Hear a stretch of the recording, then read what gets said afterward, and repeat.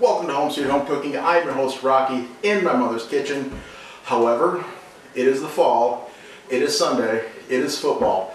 My mom has abandoned me. She's thrown me to the wolves. She's watching football, so she won't be cooking, but she will be here for the taste test, I'm sure. So, what are we doing today? If you didn't read the title, we are doing another Southern Essentials, and what this is, is a list of, I did a survey on a Southern Cooking Facebook group. What are your top 10 essential Southern dishes that every Southern cook should know? And I compiled a bunch of them together, and I took the top 20 of those and made a list. There was over 100 items on the list.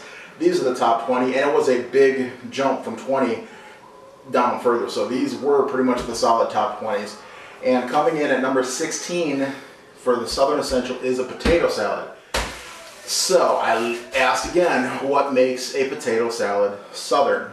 And I got a few different answers, but again, there was a few items that were at the very top which stand out from what the majority of people say should go in a Southern potato salad.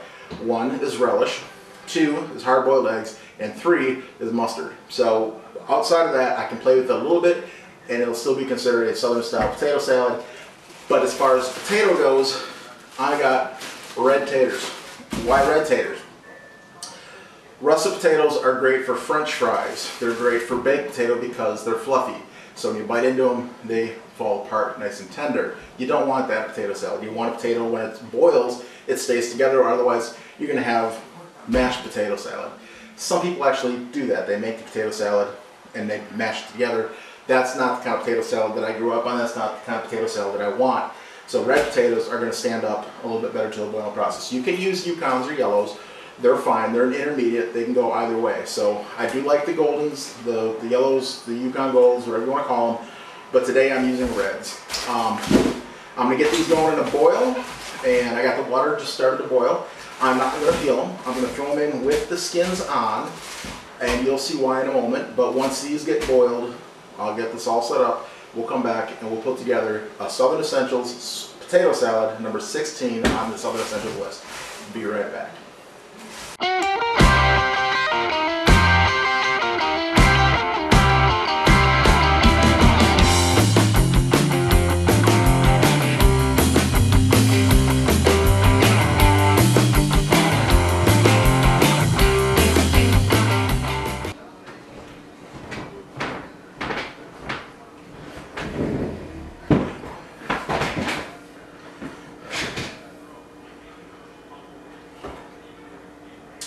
Potatoes are boiled.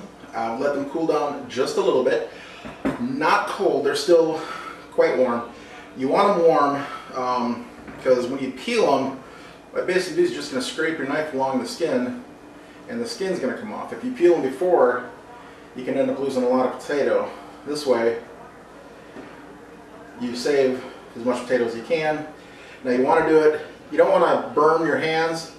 Um, these are a little hot yet. Um, so um, I should let them cool down a little further, but I got another recipe to do yet today before we get to supper. So I am going ahead and getting them they're warm. And you're going to dice them up to whatever size you want. I like a little bit bigger bite in my potato salad, so mine are a little bit chunkier. Cut them to the size you want. Now, uh, that is done. So what we're going to do in a mixing bowl, start with your taters. Might not even use all these.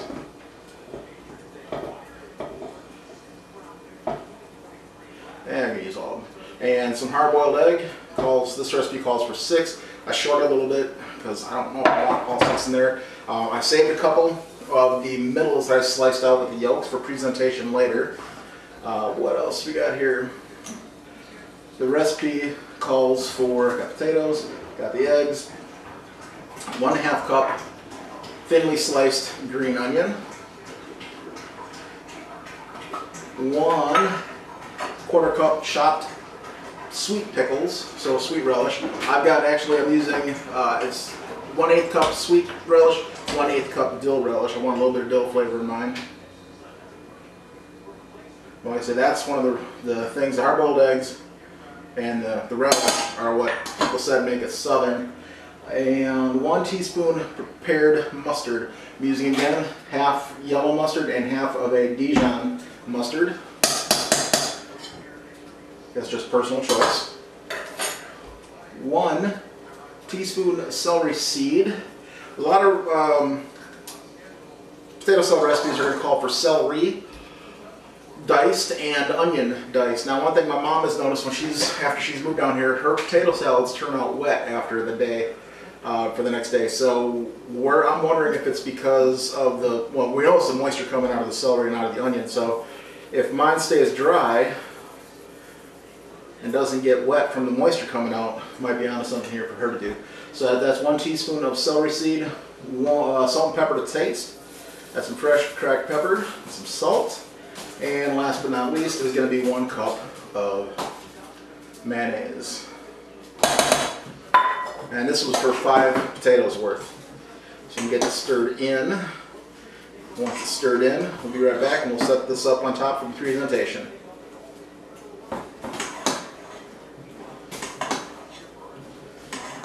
Oh, before I get it all the way stirred in, uh, this is that's the basic recipe for the southern um, style uh, potato salad. I'm gonna add. I like a little bit of um, a little bit of bite to mine, a little bit of a I don't know sour, uh, bitter, whatever you want to call it. But I'm gonna put a little bit of vinegar in mine. It's a rice vinegar that I'm gonna put in, maybe a tablespoon. That's it. Uh, my mom uses a red wine in hers, red wine vinegar. We use white wine vinegar.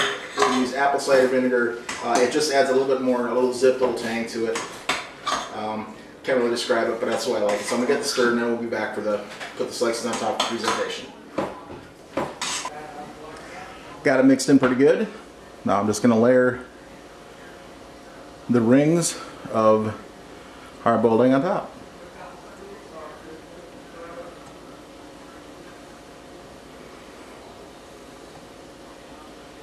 If you wanted to put a little more color on there, you could sprinkle a little bit of paprika if you wanted. That would be fine.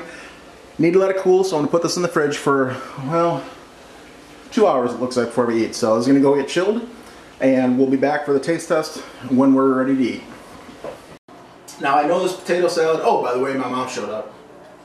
Football was still playing, but there's food getting ready to be served, so of course she's going to be here. Uh, this potato salad is not her style potato salad. This is not... Uh, it, slightly similar to hers. Um, I know it's only been a few hours, but there's definitely no water showing up, so um, no extra liquid coming from the onion, and because we use green onion instead of white onion, and uh, so that's a good thing. And celery seed And instead that's of celery seed instead of celery. So this one may actually hold up better for her. She may have to adopt part of this recipe in hers at least. Yeah, mine always gets runny.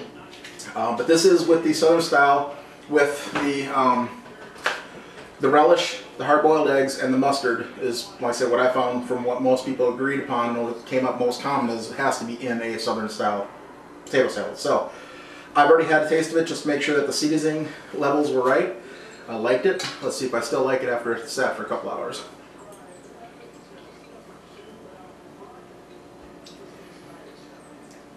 I like that. Mm-hmm. Um, I know my, what my mom makes is what I'm used to. That's what I grew up on. I'll always like that. But I think I like this as much. Um, this it doesn't have the crisp crunch that you have from having the onions and the celery in it for sure. So it's But missing the flavor yeah. is good. It's missing a little bit of that crunch texture. So if you like the texture in yours, this might not work for you. But I can taste a little bit of the dill and a little bit of the sweet relish, I mixed half and half. I can just taste the vinegar that I put in there. I can taste the celery salt, or the celery seed, and the onion. All the flavors are there. Um, I do like this. Um, as far as the southern potato salad goes, this one I will give a pass. Uh-huh. I'm gonna have a big plate of that. We made um did a macaroni and cheese recipe as well. I wasn't 100% satisfied with that.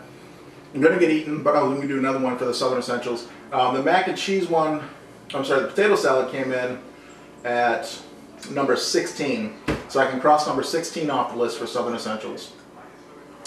Um, a couple of things. Like, what, what would you do different to this?